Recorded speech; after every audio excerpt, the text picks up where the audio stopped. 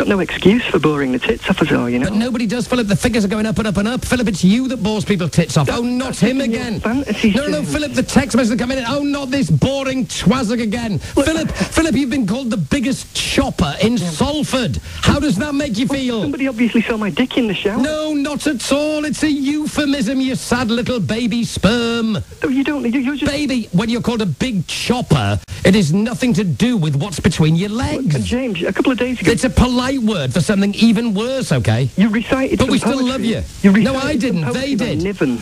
No, No, they you did. Yeah, Niven. Yeah, Niven. That was And good it- stuff. It was pure doggerel. Oh, you better explain what doggerel means. Well, it, it means What? worthless prose.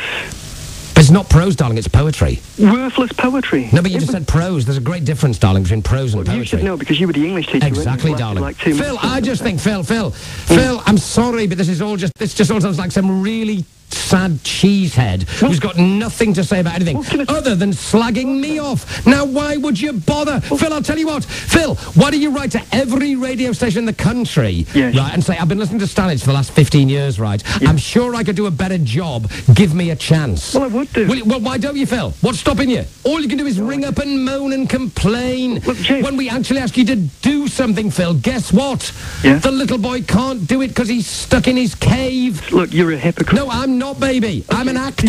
the other night, I'm an actor, darling. I can say anything I like. It. I am on stage. It's like being at the RSC playing a part, darling. Do not take me seriously, you silly little sperm. James, you're not obsessed with money, are you? Oh, baby, I'm not obsessed with anything. Do you, do you, do you want lots of money? No. So why, when you're talking about somebody as a success, if let's say they've got no O levels, why do you always say, I don't want to taught him at Edgy Park, and he, you know, he left with no O levels. Yeah. And I saw And him now he's done week, really well. And he's, he's, he's got his own building business, and Yeah, he's worth several million. Brilliant. But you, you stress the millions. No, no, I really? didn't. No, no, no. I just said there is more to life than academia, Philip. You're like John Lennon with No, I'm not like anybody. Oh, Philip. charisma, man. Oh, baby. Who are you? I'm the, I'm the Telling me?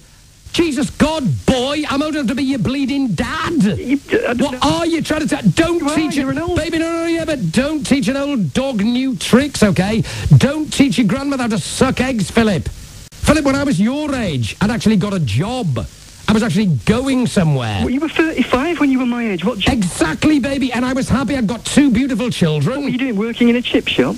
No, that was when I was 16, you sad Filleting donkey. blokes on Canal Street. Of course I was, Philip. Your dad was there. Fine, Actually, your mum was there as well. Yeah, she had to have the big uh, thing in front of her legs, yeah, because that was the only way she could make any money. Philip, now we're just being completely stupid. I mean, I hope people out there are finding it funny. That's why I'm keeping you on. You're like Lennon without... no, I'm not like anybody. You're a hypocritical- No, I'm not like... No, baby, not at all. I'm an actor. Who pretends he's I am on stage four hours a night, darling. You pretend you don't want possession, I don't want anything, Philip. and yet you simply. I want nothing. So you... you I'm very happy to hear about people's success. And if you wrote me, Philip, if you emailed me or wrote me some some note from Russia saying, I'm with her now. Guess what, James? I've never been happier. But I will never appear on your show again because I'm in Russia. Philip, I'd be happy for you. if I was in Russia, I'd phone your show once a week via No, you wouldn't. No, I you would. wouldn't because you would. couldn't. Philip, you couldn't afford it. Look, if you're with Telco, it's only 5p a minute. So why do you get over there?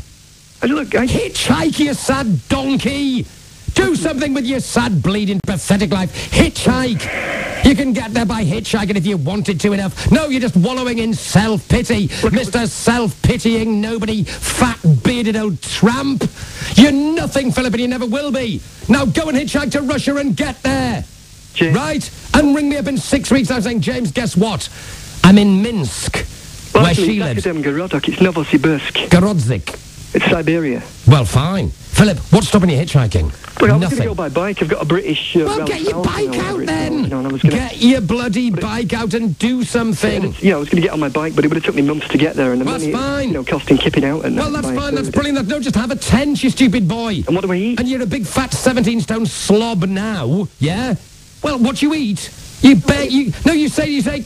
Hey, could I cut your grass for for a loaf of bread? I'd never get there then, would I? Why? Out loud. Oh, you'll never do anything, Philip, Mr. Negative Toss Bag. Mr. I can't do anything. So I'll tell you what, baby, rot away in Eccles for the rest of your life. Is that what you want to do? Buy me script and I'll go. Oh, don't tell me to do anything anywhere, baby. Do it yourself. Mr. I can't do anything for myself. Philip, you are the biggest baby on the planet. James, you just wish... that- Philip, get out there, right? Set off to... What, what are you doing hanging around here? What have you got to live for in Eccles? Absolutely jack, baby. Now get on your bike tomorrow and get over to your woman.